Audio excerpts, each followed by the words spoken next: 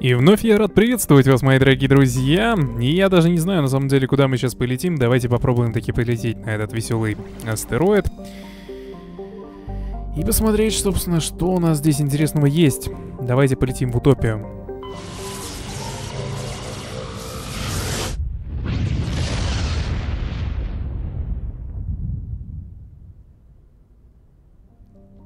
Итак, Атмосфера Занаду содержит метан и аргон, холодная поверхность состоит большей частью из калия, встречаются залежи кальция. Ввиду удаленности от центра системы и отсутствия центральных э, и отсутствия ценных ресурсов, планета не представляет особого интереса. Зато цвет красивый. Нирвана имеет крайне разряженную атмосферу из ксенона и криптона. Поверхность состоит из водяного льда и оксидов железа. В, крайно, э, в районе экватора встречаются калиевые образования криовулканического происхождения. Нирвана не представляет коммерческой и научной ценности. Насколько несколько геологических исследовательских станций были построены в начале 2160-х годов, но все они со временем были закрыты. Альянс поддерживает работоспособность автоматической станции по, разм... по расщеплению льда, создающей большой запас э, диетери... диетериумного топлива для кораблей флота. Вот такого. Вот такой вот занятий у них. Сион – водородный гелевый газовый гигант, превышающий по размерам Юпитер. Несмотря на сильную гравитацию и высокий уровень радиации, на планете имеется небольшая инфраструктура по переработке гелия-3. Причина банальна, Сион является единственным газовым гигантом в системе Утопии и, соответственно, единственным источником топлива для космопортов и электростанций на Иден Прайм. У Сиона 112 спутников, от захваченных астероидом а, до астрофедия а, Асфоделя, точнее, который имеет достаточно большие размеры, чтобы удерживать плотную атмосферу. Иден Прайм — это живописная планета, на которой процветает сельское хозяйство, стала одной из первых колоний землян на, за пределами Солнечной системы. Биосфера Иден Прайм удивительно хорошо подходит для распространения земных форм жизни. Природное изобилие стало причиной при, э, притока большого количества иммигрантов и привело к значительным инвестициям со стороны Альянса, системы и различных корпораций. А в настоящее время Eden Prime представляет собой идеальную модель устройства и организационного развития. Устойчивого. Почему-то я сегодня заикаюсь больно сильно. Ну, точнее, запинаюсь, простите. Население проживает в экологических сооружениях, которые эффективно используют пространство и возвышаются над тысячами километрами... Ч... километров зеленых полей и фруктовых садов. Короче, ладно. Это довольно хорошая, большая колония, которая чувствует себя просто замечательно. Аркадия. Аркадия это небольшая крупная планета земного типа, плотный атмосферный слой которой содержит азот и гелий. Поверхность температуры которой чрезвычайно высока, состоит большей частью из щелочного базальтового, а, часто встречающиеся зажались Фу, блин, залежи различных металлов. Несмотря на впечатляющие базальтовые колонны, создающий красивый пейзаж, недружелюбная окружающая среда сдерживает коммерческое развитие Аркадии. Вот, собственно, здесь мы больше ничего не найдем. И теперь самое главное. Асгард. А именно астероид X-57.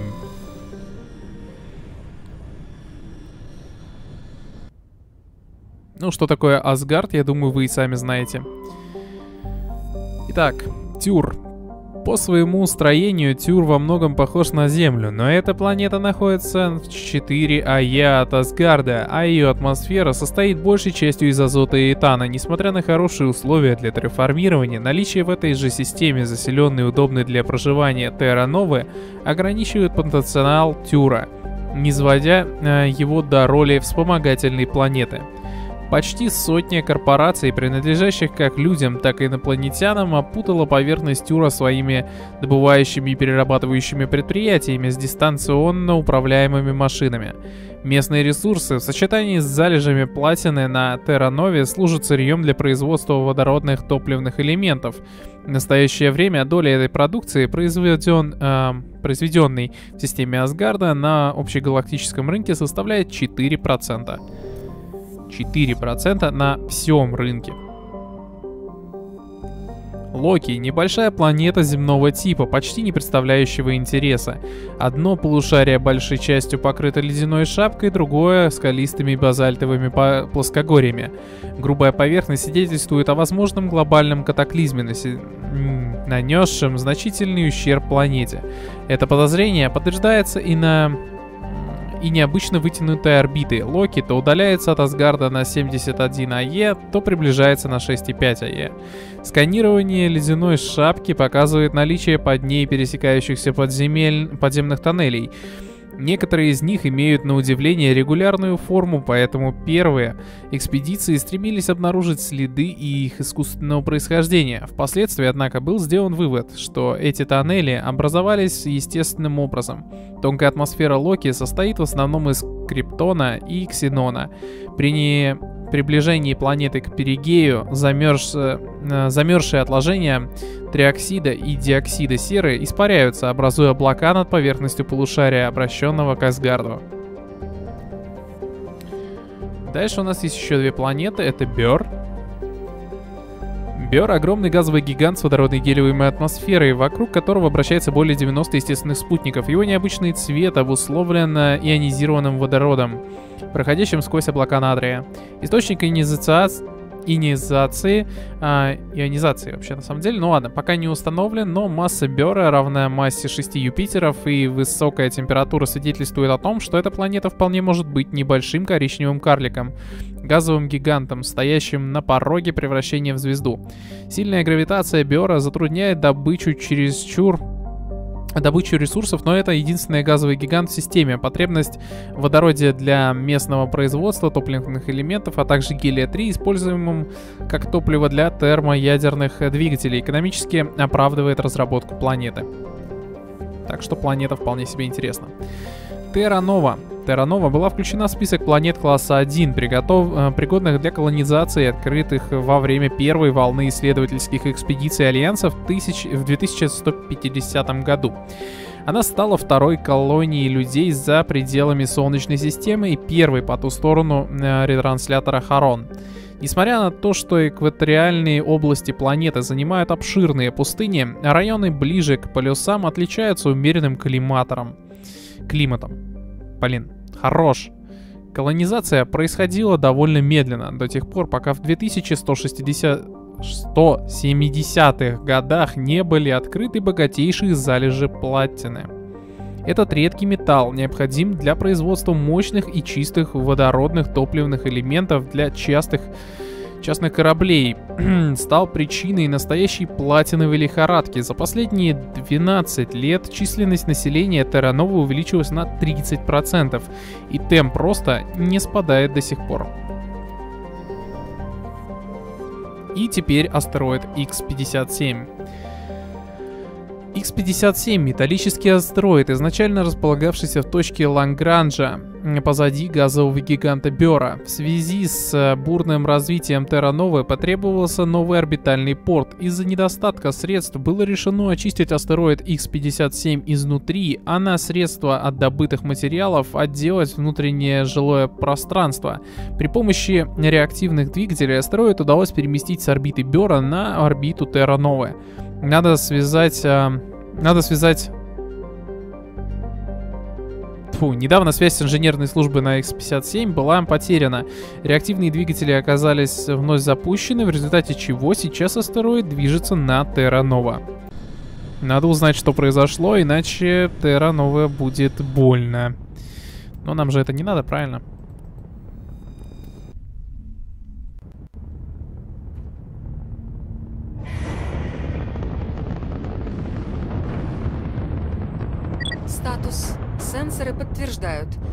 Астероид X-57 осуществляет движение посредством трех реактивных двигателей.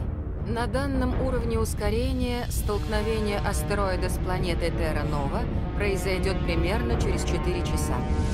Анализ. Остановка ускорения возможна при деактивации реактивных двигателей. Эй, прием! Я получила ваше сообщение. Вы меня слышите?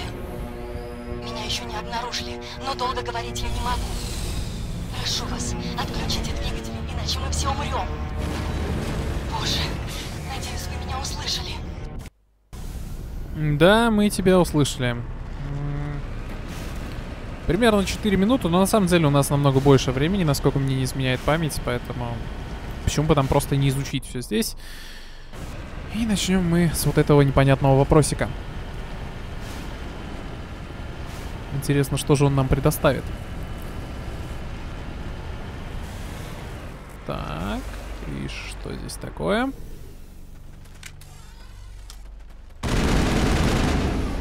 Это что-то мы не можем уничтожить. Труп Г. Менделя. Этого человека застрелили из пистолета, но до этого сильно избили. Похоже, мужчина сдался на милость захватчиков, но те зверски пытали его. Нехорошо, нехорошо, ребята. Станция наблюдения 3. Последняя запись в журнале. Э, автор инженер Гай Мендель. Опять сломался главный передатчик, а ведь я, дав... э, я давно предупреждал о неисправности в системе. Удивляюсь, как эта штука вообще может работать после стольких лет службы. Когда Саладж сменит э, меня, пойду посмотрю, что там стряслось. И может... Не можно ли, собственно, его починить. А, карта местности немножко обновилась. Теперь у нас есть передатчик. Мы знаем, где он. И надо посмотреть, что с ним вообще-то случилось. Набор улучшений. Можно взять инструменты. Хорошо. Ну и видим, что у нас есть три веселых двигателя. Мы видим Терру Нову, на которую мы, собственно, летим. Три веселых двигателя располагаются довольно далеко друг от друга. Два из них близко, один вон там, вдалеке.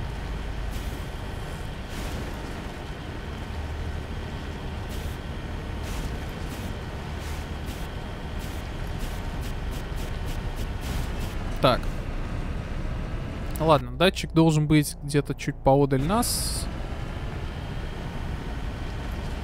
Надеюсь, мы до него нормально доберемся. По идее, он как раз сверху располагается.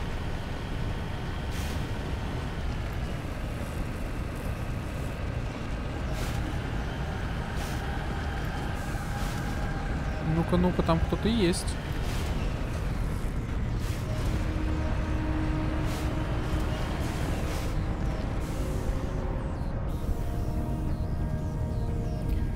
отремонтировать. Связь между передатчиком и станциями наблюдения восстановлена. Местоположение станции наблюдения отмечено на вашей карте. Теперь у нас есть все станции наблюдения. Вторая, первая и три реактивных двигателя. Мы поедем к этой станции наблюдения и заодно посмотрим, чего же мы так испугались и что находится снизу. Видимо, это пушки. Ладно видимо, будет видно. Надо узнать, что здесь произошло.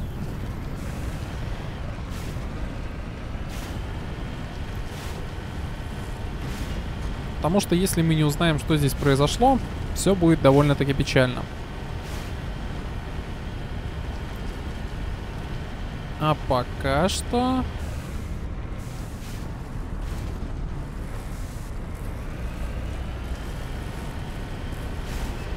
Пока что я понимаю, что вот это, походу, пушки, которые нам нужно уничтожить.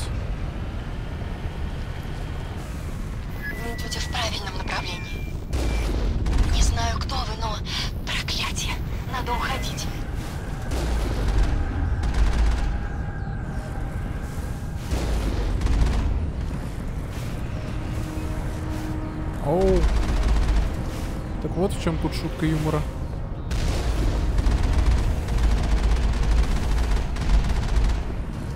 Ясно, понятно. Это турели, которые высовываются через определенный момент времени, а после приближения к ним.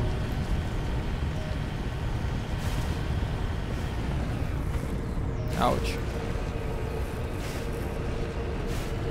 Я думаю, что 4 часа у нас есть, так что ну, в крайнем случае, через 4 часа, если я не успею по пообведывать э, все эти местности, поразведывать, то я думаю, что мне светит упасть на Терунова. Но я надеюсь, что я это сделаю намного раньше, поэтому все будет хорошо. А почему-то мне кажется, что где-то здесь может быть молотильщик, как вариант, на слишком больших пространствах, как правило. Они могут обитать, потому что просто могут, а может и не могут. Ладно, ничего здесь не видно. А давайте посмотрим, что же здесь вообще произошло. Здесь станция наблюдения еще одна, по сути. И вот здесь вот что-то есть, следы. Следы в пыли ведут на восток. То есть куда-то вот туда. Хорошо, сейчас проверим. Сейчас проверим. Так, низкий уровень навыка. Опять-таки помощь. И станция наблюдения 2. А, последняя запись в журнале. Главный инженер Монтоя. Связь прервана, у главного комплекса приземляются неизвестные корабли, над горизонтом видны всполохи. Точно утверждать не могу, но похоже на ожесточенную перестрелку. Согласно протоколу защиты, привожу в готовность охранных дронов. Помощи я не жду, пытаюсь выяснить, что случилось.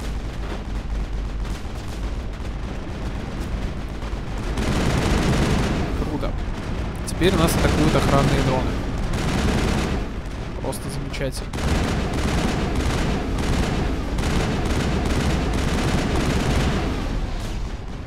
Пришли спасти, называется, людей. Попали, называется, в передрягу.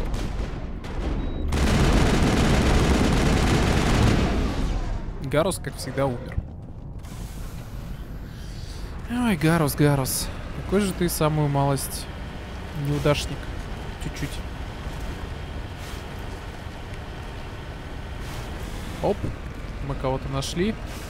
И, видимо, это как раз-таки Похоже, он скончался от выстрела в голову. Скорее всего, это работа снайпера. В любом случае, убийца не удосужился обыскать труп, при себе убитый оставил все инструменты. А, биоусилитель. Неплохо. Не зря прошелся сюда, скажем так. Жалко, конечно, инженера, но ему эта вещь все равно уже не нужна.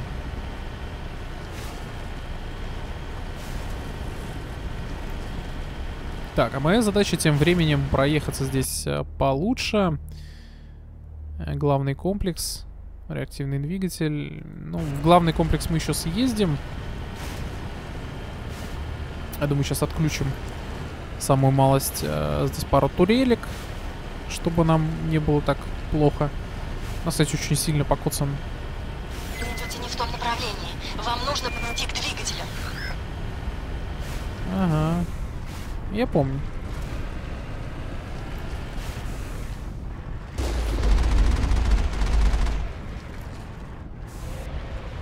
Как я красиво уклонился. Так еще и не один раз, лол. Ауч.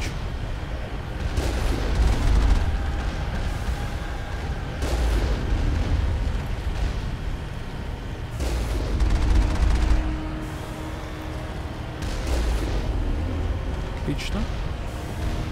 Я прям профессиональный уклонист, как погляжу. Ну, почти профессиональный, ладно.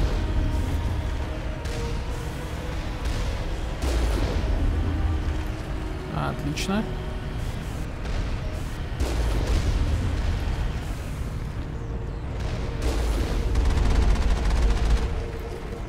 Так, то, что она уходит туда-сюда, это нифига не круто.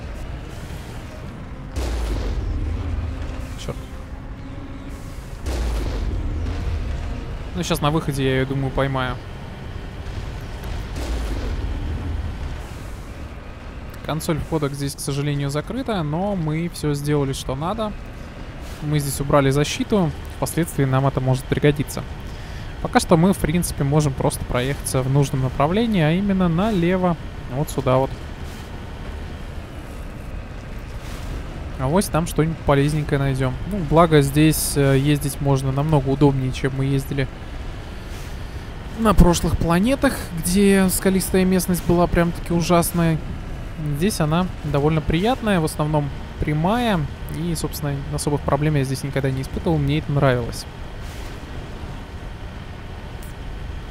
Да, я был прав, что надо поехать вот сюда. Так. Что у нас здесь располагается? Сейчас мы поглядим.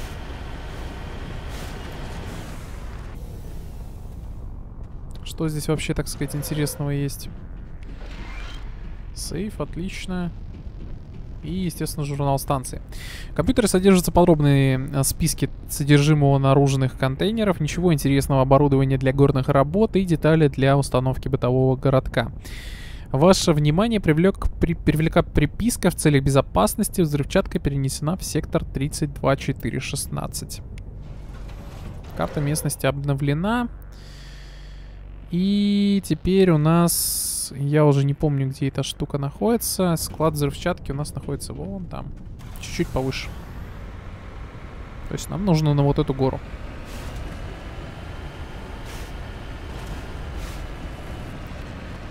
Я уже плохо помню, если честно, что здесь делать. Я помню, что в любом случае мы спасем планету, но какой ценой, скажем так, вот этого я уже не очень хорошо помню. Но, тем не менее, склад взрывчатки мы как бы нашли. Сейчас возьмем с собой взрывчатку. Отлично. И можем даже стрельнуть. Чисто по приколу. Взорвав, так сказать, здесь все и вся. Вот, на самом деле мы просто взяли гранаты, то есть ничего здесь такого нету, по-моему. Так, теперь наша прямая задача доехать по прямой. Это смешно со стороны не звучало. Ну, главная задача именно такая. Собственно, наверное, вся миссия и будет э, заключаться в том, чтобы пройти вот эту всю хренотень и уничтожить всех захватчиков, кто захватил и сделал что-то не так с этим несчастным злосчастным астероидом. Интересно, кто же это сделал и зачем, главное. Ну, потому что двигатели сами собой же запуститься не могли. Причем уже понятно, что кто-то убил инженеров, которые следили за этим астероидом. Это значит, что кому-то это было надо. Итак, у нас здесь есть а, один из двигателей, который мы сейчас обследуем в скором времени. Пока что я к нему прикасаться не буду. Здесь, естественно, нету никаких залежей, насколько мне не изменяет память а, потому что, ну, в принципе, здесь залежи не нужны. Единственное, что здесь есть, это вот эти вот э, мини такие э, пункты наблюдения, связь с которыми была утеряна, но мы ее благо восстановили. И, соответственно, здесь есть э, цели задания, то есть все двигатели, которые мы должны отключить. Вот такие вот дела. Так, мы почти доехали, собственно, до последнего места расположения исследовательского центра такого мини пункта наблюдения. Я думаю, сейчас мы как раз туда доедем и все будет хорошо.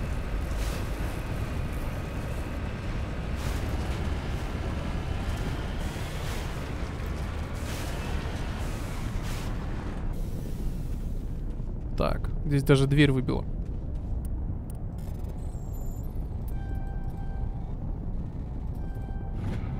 Отлично. Взять все. Смотрим, что внутри. Взять пенициллин.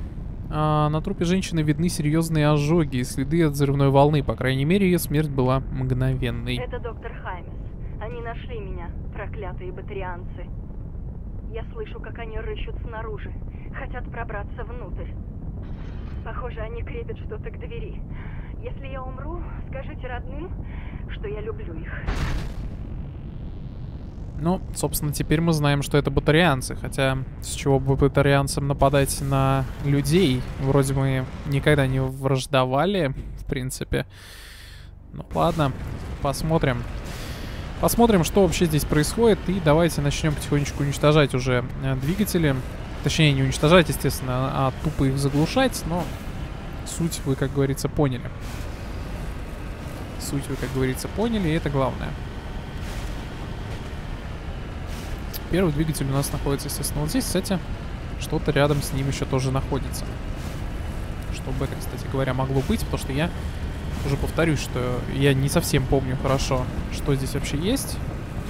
И мне интересно узнать, что же здесь на горе было такого интересного.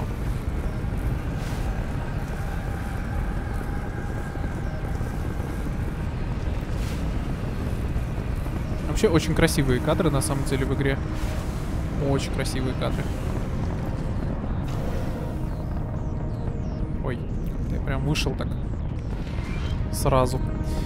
А, в этом компьютере много рабочих журналов и персональных записей для маленькой пиратской радиостанции, которую управляли инженеры с X57. Среди них сохранились такие, э, так и незаписанные наброски рекламных объявлений. Радио не стоит а, на месте с 2182 года. Пустота разъедает ваш мозг. Мы поможем вам долететь до небес. Настоящий крепкий орешек. Вам последний шанс, э, ваш последний шанс услышать что-то стоящее в радиусе 300 тысяч километров весело.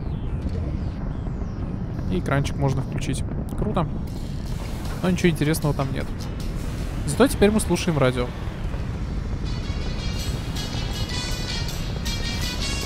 Круто. Мы включили радио. Хотя бы какой-то момент его послушали. Ну что ж. У нас включились э, орудия защиты виде парочки турелей, которые мы сейчас будем с вами обезвреживать.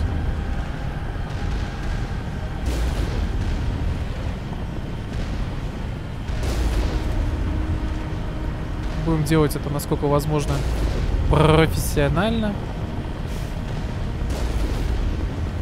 И обезвреживать, соответственно, все турели в принципе.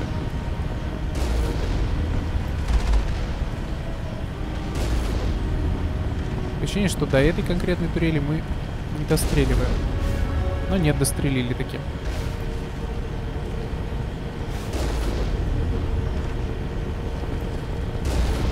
Отлично. И осталось только зайти внутрь. Припаркуемся немножечко. Сохранимся и побежали.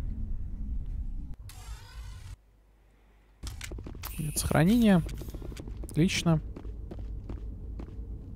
Здесь, по-моему, ничего вообще нету. Единственное, что здесь лежит чей-то труп. Ладно, входим.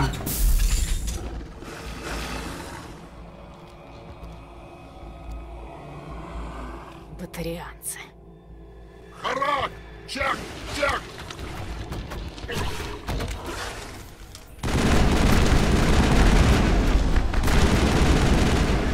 Ох, не стал бы я на вашем месте мне надоедать.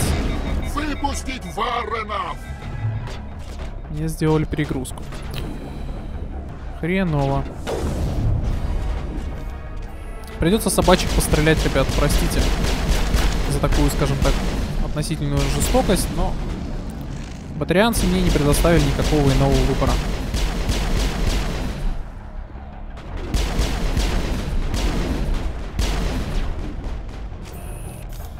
Так, сейчас кому-то по щам надаю.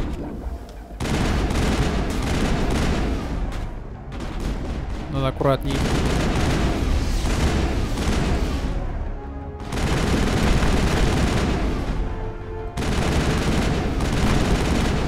Прости, прощай, дружочек.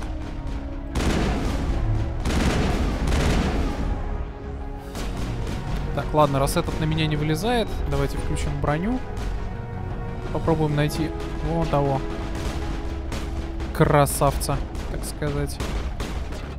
Ну, либо пробежимся к этому.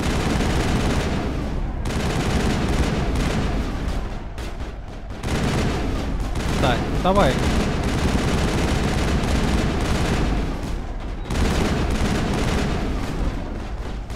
Отлично, минусы.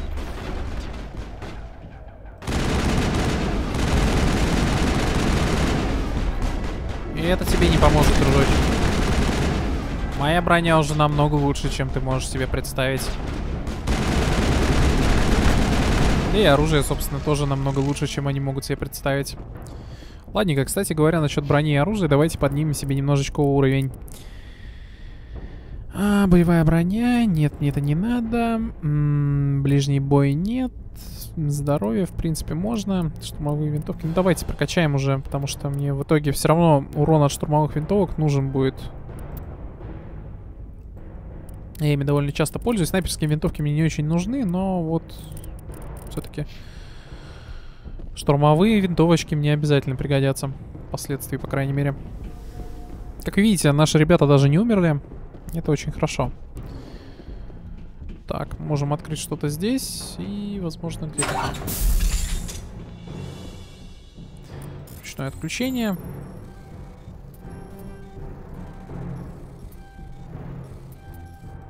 Отлично. А, да, предметов, кстати, уже прям совсем мало. И вот мы можем здесь отключить двигатель. А, нет ничего сложного, двигатель отключен. что двигатель отключился. Это были вы? Вы меня слышите? Кто вы? Что происходит? Меня зовут Кейт Боуман, я инженер. Мы должны были доставить этот астероид на орбиту Терра-Новы. Вчера на нас напали батарианские экстремисты. Мне удалось спрятаться. Похоже, они знают, что двигатель отключен. Какова их цель? Я не знаю, но если вы не остановите астероид, он уничтожит миллионы людей на Терра-Нове. Если узнаю что-то еще, мне пора. Удачи. Окей. У девушки, походу, проблемы. Надо будет сейчас помочь им. Надеюсь, мне удастся их вытащить до того, как что-то пойдет не так. По крайней мере, двигатели нужно выключать быстрее. Кстати, насколько я помню, в определенный момент там, по-моему, запустится таймер. Или это было не здесь. Ну, короче, где-то в любом случае таймер будет, по идее. Но где точно, я не помню. Ящик с гранатами на всякий случай. Так. Какой-то непонятный сейф. Ну, пока возьмем все. Быстренько давайте проглядим, что у нас принципе есть. А... Цунами у нас и так установлено. Я думаю, что есть смысл дать а, цунами еще и тебе, дорогой мой друг. Экипировать. Давай экипируем тебя. И Гарусу тоже дадим что-нибудь интересненькое, типа вот этой винтовочки. Также Гарусу... Фу, Гарусу говорю, Рексу. Также Рексу надо бы дать что-нибудь типа дробовика катаны.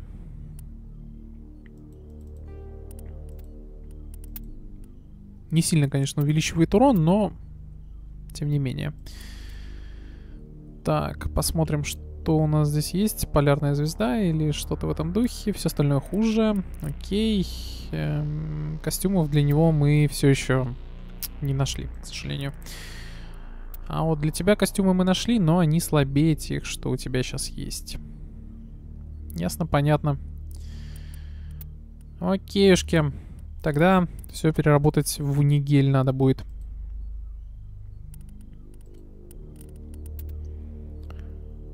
По крайней мере, то, что мне нужно будет переработать, я надеюсь, у меня есть такие вещи. Хотя я их, если честно, не вижу. О, инструмент, э, как раз-таки, который мы сейчас нашли, он лучше, чем тот, который есть у нас, он шестого уровня. Все-таки, значит, есть э, шестые инструменты. Это очень круто. Ну, в смысле, вещи шестого и выше уровня. Так же, как, например, здесь есть броня э, дуэлянт шестого уровня, легкая. Я просто покажу ее. Не очень красиво выглядит, если честно. Потом поставим ему медведицу белую. В принципе, вроде бы все на самом деле. А, для Шепарда тут тоже ничего такого нету. Угу. Все то же самое, что обычно. Ничего интересного. А, из тяжелой брони. В принципе, здесь тоже для Шепарда ничего нету. Надо будет как-то попробовать что-то из этого переработать в Унигель. Я думаю, что есть смысл э, перерабатывать в Унигель вот такие вот вещи. Типа улучшения оружия и модификации для оружия, которые у нас довольно ненужные и старые.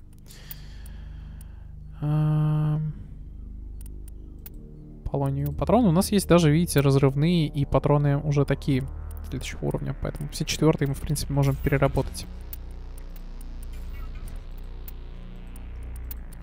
Шагательные. Вольфрамовые.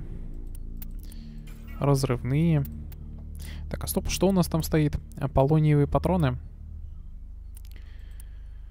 Полониевые патроны. Ну, давайте поставим себе полониевые патроны улучшенного типа. Вот у нас стоит пятый уровень. Ну ладно, на какое-то время нам этого хватит, я думаю.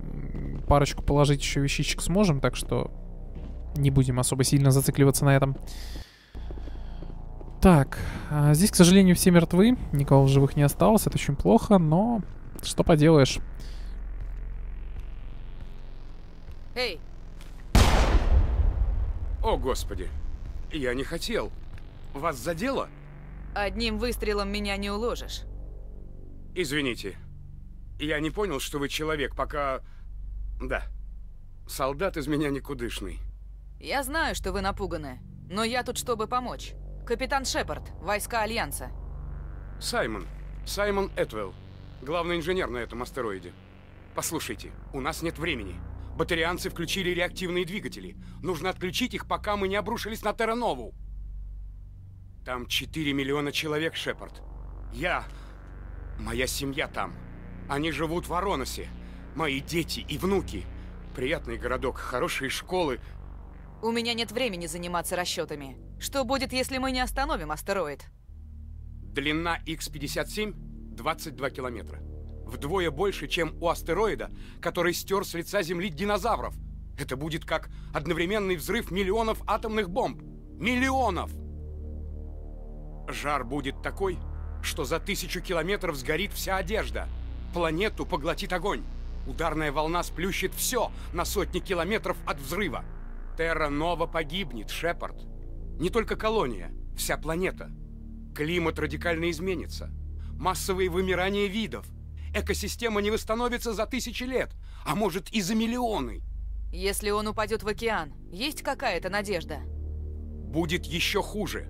На сушу обрушится цунами, сметая все на своем пути со скоростью несколько сотен километров в час. В районе столкновения испарятся миллионы тонн воды. Всю планету покроет толстый слой облаков. Погибнут все растения. Об экосистеме сразу можно забыть. Конкретных цифр назвать не могу. Но поверьте, это будет настоящая катастрофа. Непонятно. Батарианские бандиты жестоки, но они во всем ищут выгоду.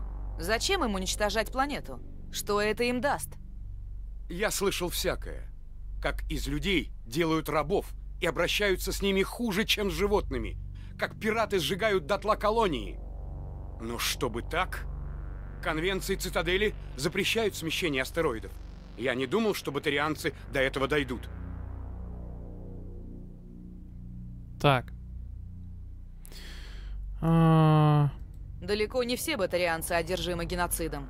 Но эти – настоящие террористы. Да, я понимаю. Просто... Просто сегодня утром я был застигнут врасплох тем, что произошло. Угу. И что же произошло? Вы находились здесь во время нападения. Сколько вы видели батарианцев и где? Они высадились у главного комплекса. Теперь он заблокирован. Они сменили код доступа. Без понятия, что там происходит внутри. Я видел, что к каждому двигателю отправились группы бойцов. Не могу назвать точное количество, но попотеть вам придется. Вы не знаете, кто за этим стоит? Кто у них вожак? Возможно, это все прояснит. Я слышал, как двое из них упоминали какого-то Балака. Похоже, он у них главный. Вроде бы им не очень нравится происходящее, но они его боятся и выполняют все, что он скажет. Угу. Повсюду батарианцы, а мне нужно отключить три двигателя. Мне нужно знать что-то еще. Один из двигателей окружен подрывными зарядами. По прибытии на орбиту Террановы мы собирались заняться разработкой пород. Я снабдил их датчиками движения. Ваш танк моментально активирует их, так что придется идти пешком. Если подойдете слишком близко, они взорвутся. Идите медленно и будете в порядке. Вы же сами их поставили. Их можно деактивировать? Отсюда нет. У входа в комплекс есть ручная панель управления. Это внутри зоны взрыва. Можно отключить детонаторы оттуда. И еще. Перед атакой, недалеко от участка, работала группа инженеров. Боюсь, они в опасности. Батарианцы безжалостны. Я видел, как они разбивают скафандры у тех, кто работает в космосе. Да еще варены. Не похоже, что они питаются только падалью. Где могут быть инженеры? Они отправились проверять оборудование по периметру. Вы должны подключиться к башне-передатчику на поверхности. У вас на сенсорах отобразится местонахождение станций оборудования. Хм. Постараюсь найти их. Но главная моя цель — это двигатели. Да, вы правы. Главное — спасти Терранову. Мои люди могут и подождать. У главного комплекса находилось много инженеров, но сейчас все они, вероятно, мертвы. Или в заложниках у батарианцев. Некая Кейт Боуман связалась со мной по радио. Батарианцы еще не нашли ее. Кейти жива? Она одна из лучших моих инженеров. Записалась сюда с братом. Кажется, его зовут Аарон. Он из службы охраны. Рассмотрим худший случай. Допустим, астероид мы не остановим. Можно ли эвакуировать колонию? Эвакуировать? Шепард, чтобы колония так разрослась, потребовалось 30 лет. Уверен, они перевозят людей в удаленные зоны. Но им ни за что не удастся увезти с планеты более нескольких тысяч человек. Нам просто не хватит кораблей. Ни у кого столько нет. Ну, может, у кварианцев. Но они вряд ли появятся тут неожиданно и помогут нам. Зачем вообще вам нужно было перемещать астероид? Мы хотели доставить его поближе к Терранове, добыть полезные ископаемые, а потом сделать из него орбитальную станцию. Нам не придется доставлять необходимые материалы на орбиту, а полученные минералы полностью покроют затраты. Что вы можете сказать о Кейт? Очень умная женщина. И смелая. Надеюсь, она хорошо спряталась. Если ее найдут... Ах, Кити, лишь бы ты не сделала никакой глупости. Вам лучше где-нибудь затаиться. Если батарианцы вернутся и найдут вас. Да, я и сам так подумал. Толку от меня немного. Удачи, Шепард.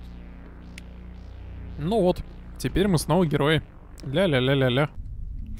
Ладно, на самом деле следующие будут заминированы, так что это хреново, и нам придется аккуратнее продвигаться, и все в этом духе. В общем-то, у нас проблемы. Ладно. Там как раз вот эта вот часть заминирована. Я могу, конечно, ошибаться, но, насколько я помню, это именно так. Естественно, на всякий случай я сохранюсь. Так. Что ж, один двигатель мы... Слышите? Надеюсь, радио работает. Чёртова штуковина. Извините, слишком фонит. Посмотрю, можно ли ее наладить. Не теряйте времени, продолжайте идти. Да продолжаем вроде как. Внимание! Грунтовой радар сообщает о наличии противотранспортных зарядов. Продолжайте путь пешком.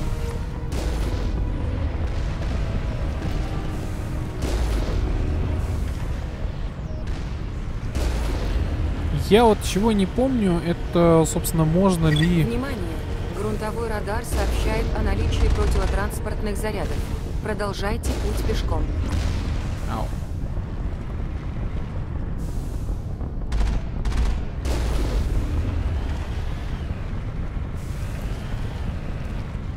Я вот, так вот, я не помню, можно ли это пройти аккуратно. Нельзя. Ясно, понятно. Я специально сохранился, как бы, перед тем, как это сделать, поэтому... Как бы, да. Внимание! Грунтовой радар сообщает о наличии противотранспортных зарядов. Продолжайте путь пешком. Придется действительно отсюда идти пешком.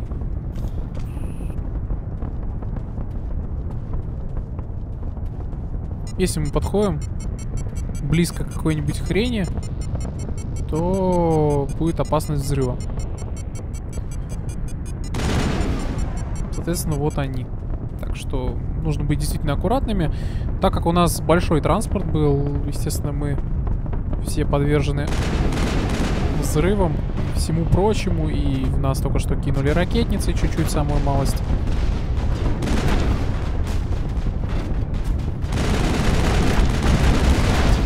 У! Да вы охренели, дорогие мои друзья?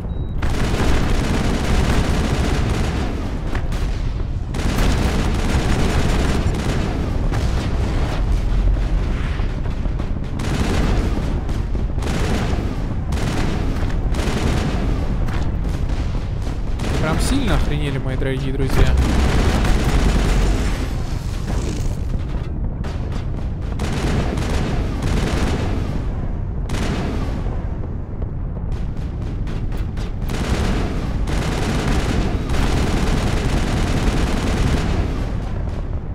Так, Гарус, как обычно.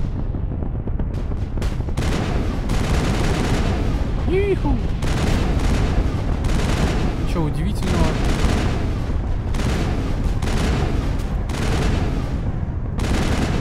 Я уже привык видеть здесь мертвого Гаруса.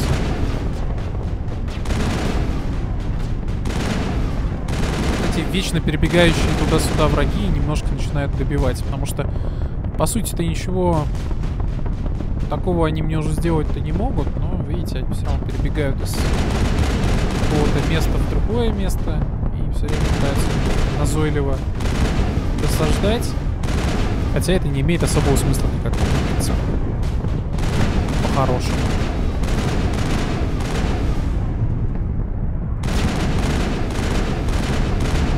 Но подходить к ним вплотную, естественно, не имеет особого смысла, поэтому...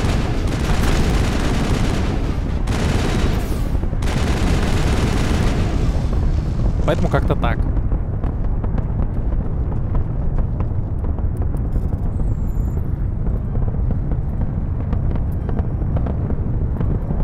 Вот. Мины деактивированы, можно спокойно заехать теперь наконец-то сюда на нашем транспорте. Гарус, идиотина. Почему ты все время умираешь? И уже спокойненько, а, после того, как мы заедем на нашем транспорте, уже спокойненько отсюда уехать к чертям. Потому что мне бы не хотелось а, лишний раз а, бежать вот так вот. Ну, я понимаю, что в любом случае сюда пришлось бы бежать за транспортом. Но, тем не менее, так было сделать все-таки проще. Сейчас я побегу за транспортом, чем... Блин, чем потом. Потому что сейчас я за ним прибежал, сел, поехал. А потом мне будет лень то же самое делать.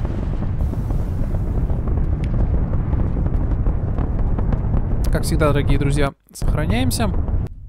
И заходим внутрь. Так.